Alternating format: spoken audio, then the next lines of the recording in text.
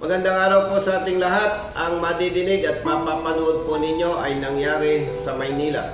Ang ating kapatid na truck driver ay nasita ng MTPB enforcer at sinasabing expired ang rehistro.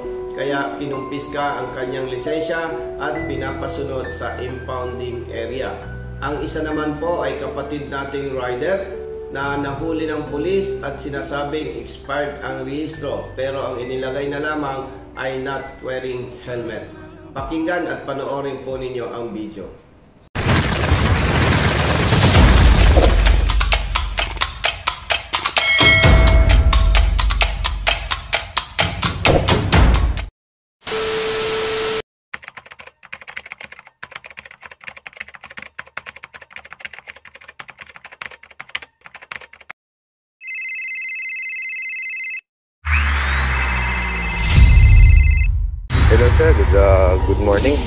Gusto ko sana humingi ng tulong kay Colonel Busita kasi marami ako ng mga napapanood na video niya. Ano, baka mabigyan niya ako ng advice. Ano po nangyari, sir? Ah, yung truck ko, sinita. Ngayon, siyempre March na tayo ngayon which is kung sa expire, expire. Pero meron po tayong extension of validity hanggang March 31 ang ending to natin. Yes, di ba po sir? Which is may dala naman po yung ating driver ng extension of validity. Tapos po, Pero ngayon, di may dala siya ng extension of validity. Tapos ang nangyari, sir, ay na-apprehend siya. Pagka-apprehend, so nakita yung plaka namin is temporary plate lang, sir. Yung mayroong ano, authorization from LTFRB. opo. So ang binabanggit ng Manila Enforcer, mga tauhan, hindi daw sakop ang mga virtual plate ng extension of validity. Na tikita na po ba kayo? Ayun na nga po, sir, ito yung issue. Ah, pinapatikitan ko na yung driver ko. Kinuha ang lisensya ng driver ko, tapos sige, patikit ka na lang. Ang gusto mangyari, yung truck ko, pasunod din sa kanilang impounding. Ngayon, once na sumunod dun, sir, yung truck ko, automatic, may impounding pin ako na 9,000. Nang wala namang sira, sir, yung truck ko. So ngayon, tama po ba na inadvisean ko yung driver na huwag kang umalis dyan sa lugar na yan. Kasi talo tayo pag sumama ka, lumalabas na pumapayag na tayo sa gusto nila. Hindi daw ibibigay ang ticket hanggat hindi pumupunta ang truck sa kanilang impounding area. Driver? Ayun driver sir, patawagin ko sa inyo. Tawagin niyo po sa amin, sir. Ah, sir, hindi ko sir sigurado kasi parang walang load siya tapos walang maloadan sa lugar. Ito na lang po. Ibigay niyo po sa akin yung number ngayon na po.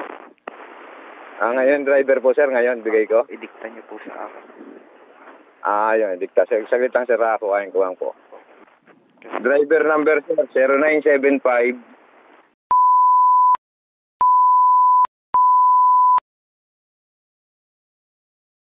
Nakuha niyo po, sir? Saglit lang po. Sige, sige, sige. Tawagan ko. Sige po, sir. Sige po, sir. Maraming salamat. Sino po sila, sir? Si Justin po, staff po ni Colonel Bosita. Sige, sir. Sige, sir. Thank you, sir. Maraming salamat, sir, sa tulong, sir, ha? Okay po. Sige, sir.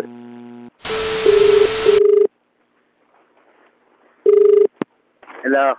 Sir, magandang umaga sa opisina ni Colonel Bosita to. Eh, sir. Sir. Ano po nangyari, sir? Ah, ano dito, sir? Dito ko po ngayon sa Melonita, sir. Eh, na ano kami, na ano ko kanina sa ano, sir, sa traffic, sir. Pinaral lang ko kanina. Tinignan nila yung mismo ko, sir. Ah, ano, ang posted niya ito, sir, ay ano, January 25, 21. Tapos, na expire siya, sir, sa February 20 to 20, ah, February 25 ba yun? 28, sir. Hawak niyo po ba yung ORCR niyo? Dinala nila, sir, ang ORCR, sir. Pati yung license Sir, ko. subukan ko po ngayon makausap ko kay Colonel. Ano po? Yes, sir. Saglit lang po.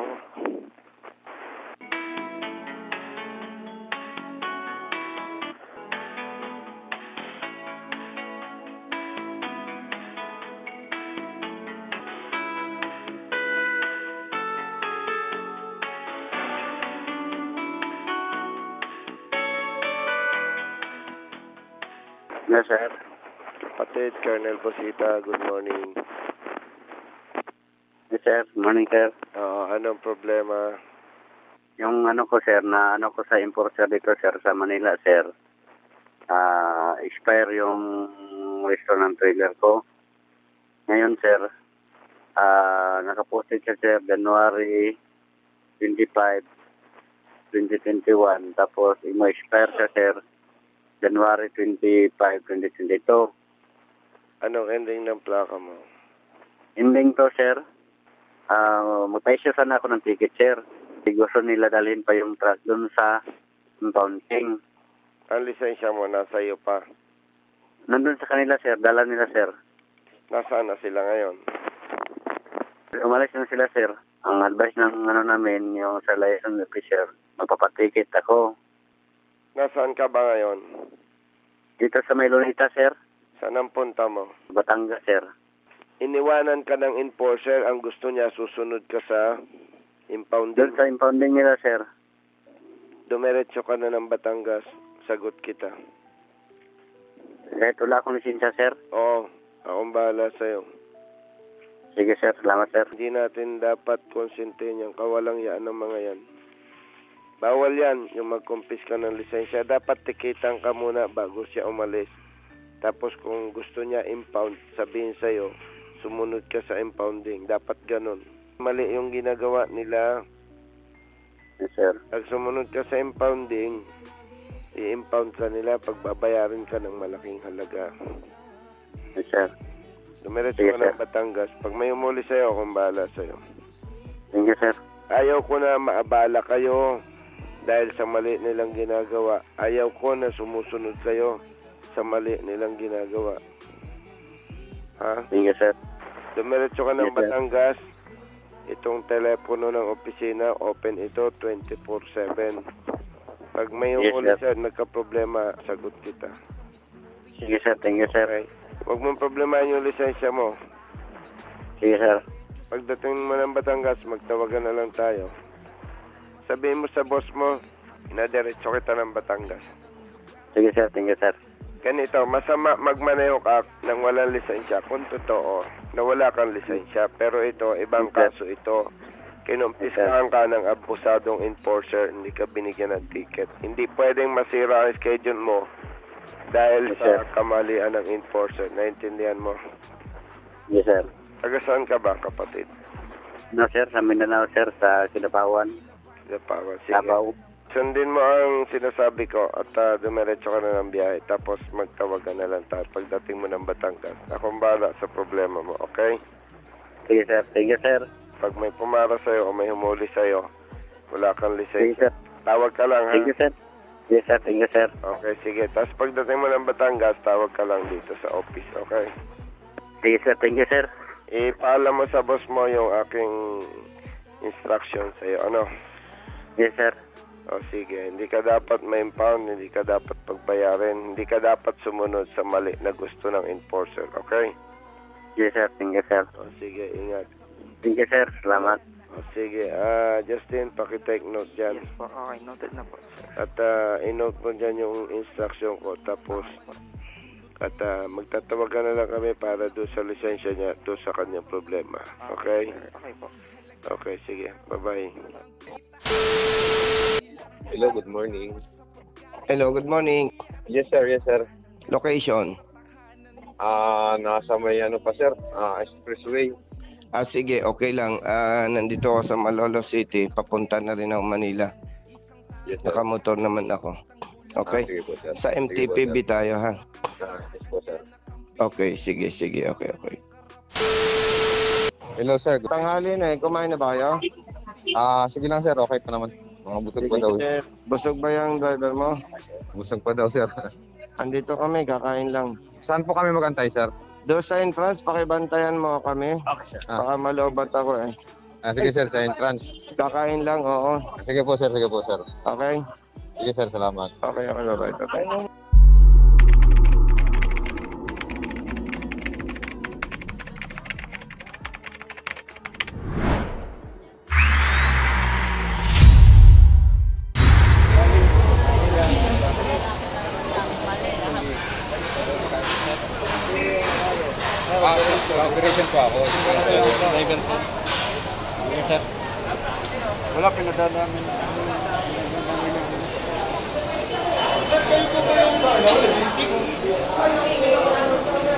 Sir.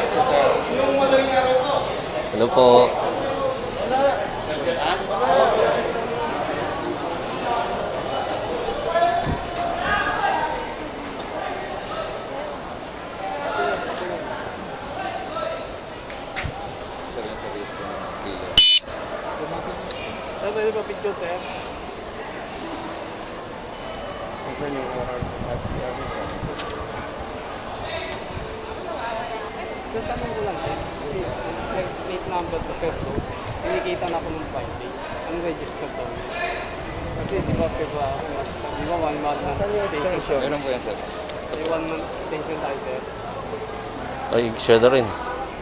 Yan, ay pareha po. Nakikita ko na po, ito kinukontest ko nga po. Kaso ang nilagay sa ticket, yung helmet. May helmet ka? Meron po, suot ko po, galing pa po Caloocan. Kaya ang ginagawa ko, babalik ako sa Taan ng Manila para mabidyoan ko doon yung oras na tinitigitan ako. Nag-abala, i-absent pa po ako sa trabaho. Sumama ka sa akin. Nasaan yung ticket mo? Nandito po. May sticker? Sure. Sige, ma'am. Dalawa na lang. Tatlo, apat. Isa. Calling card. Nasa motor ko po. Meron tayo sa Facebook and YouTube. Ah, andun naman po, nakasulat.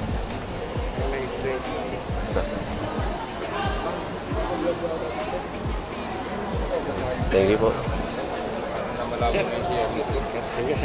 Oh, CR talaga. Tayo kay Kernel. opo.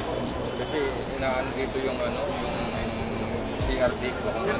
Idol, pwede pa picture, Idol? Sige po, okay na. Picture ako kayo. Dikit ka. ha? Idol, pwede pa picture, Idol? Alright.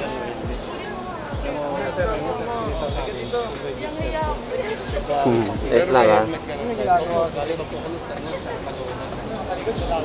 Kung parahin ka, may helmet ka. Nakapasok, public checkpoint.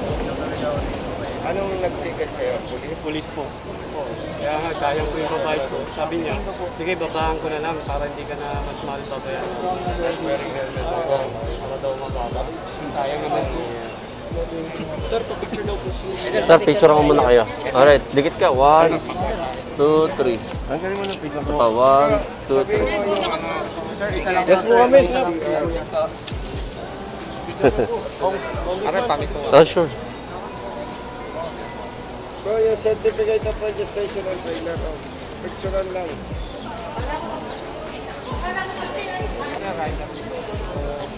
One, two.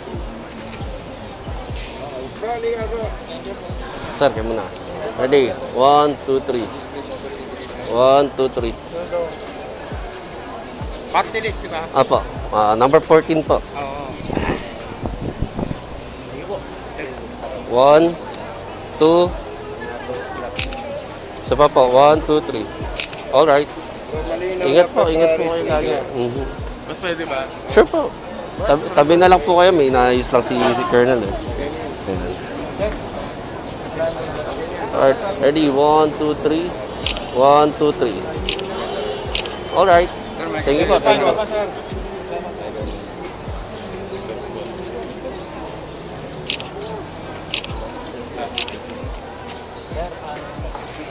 Sa ito? One, two, three. Sa puso na lang. Alright. Ay, oh, tabi ka, tabi. Mm, Tabi ka sa kanya. Kailan daw ang hearing? Kailan ang hearing? Ang sabi po sa akin kasi, balik po. Kailan? One, two, three. Tuwa po ng video.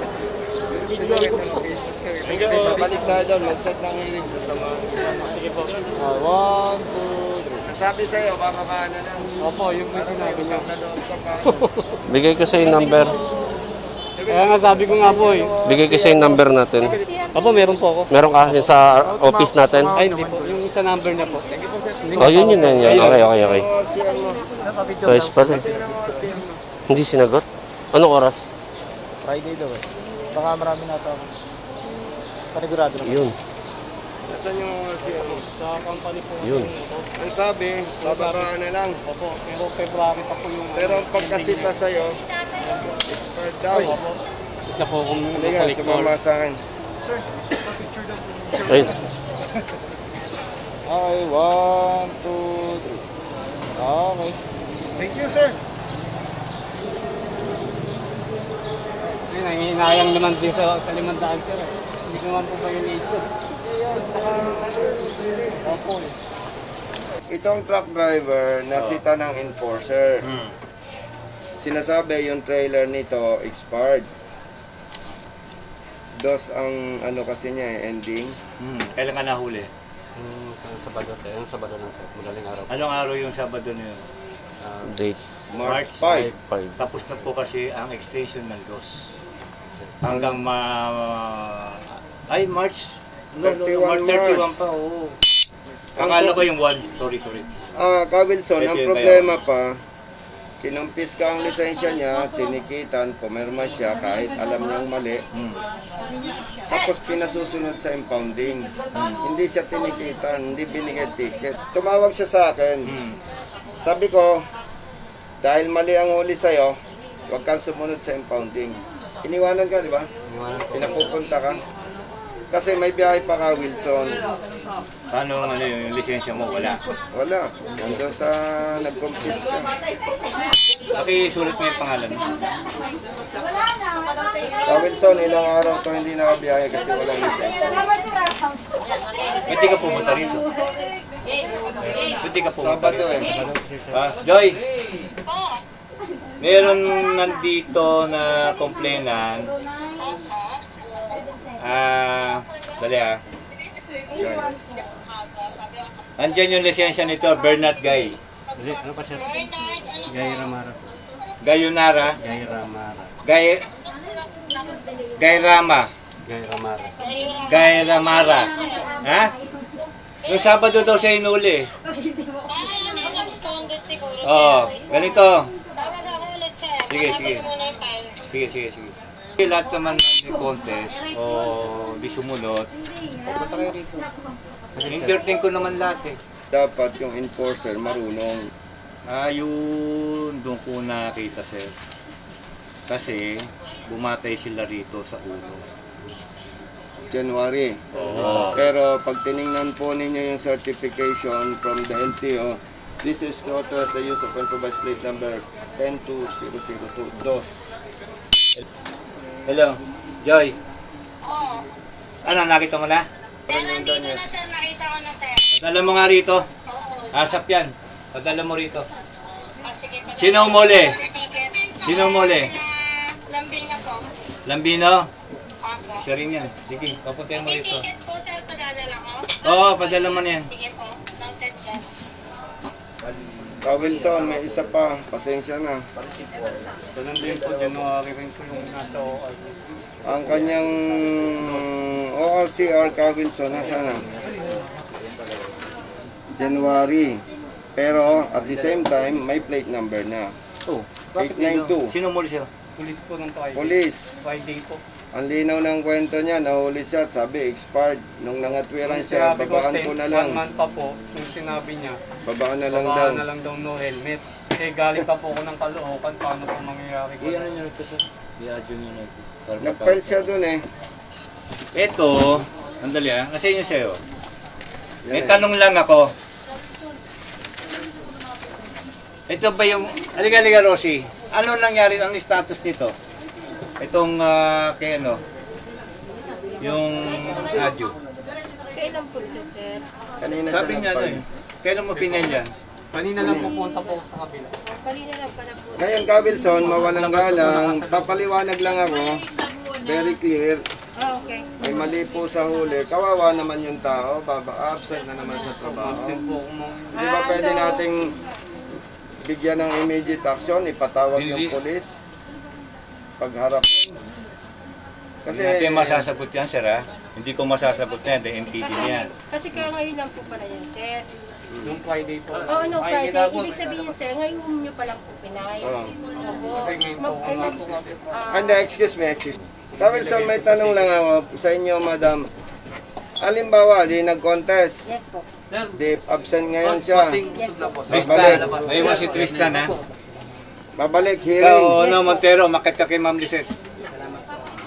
Di po ba absensya sa trabaho ngayon? Yes po. Pa-attend ng hearing. Yes po. After the hearing, resolution. Yes so, po. 3 days siyang walang trabaho. Yes po. Pagka po ba na-find out ng adjudication na mali ang huli, anong mangyayari? Cancel lang ang huli o papaano po? Ika-cancel yun kung mali po, sir. Hanggang doon lang. Kaya Yes lamang po. sir, may kasing ano ko, kaya ko sinabi sa inyo na, oh sige, si Adjo na lang. Opo. Kasi ang sabi ho ninyo kasi sa akin ay ah, yung pong ano, rehistro. Tama ba ako? Expire. Tapos sinabi niya, bababaan niya. Oh, so, kailangan kasi ma-clarify po to. Tama No? Yun. Ma-clarify po natin pagharapin yung pulis tsaka kayo. Yes po. Kaya, Kasi kailangan masabi po ninyo, binabaan nga ninyo eh. Naka-helmet ako, binaba mo ako ng ano. Oh. Malinaw naman yung sinasabi niyo ka, Wilson. Ang punto ko lang po dito, hindi ba pwedeng mag communicate agad sa police station, patawag yung Paano mo kasi- nga yung ano, kay Sige sa po. ano, sa OPR? Opo. Kasi na-permission Patawag yun na. eh. Sige na, patawag yun. sige po. Oo. Pati yung mga papel na ano ha, na sinurrender dyan ha.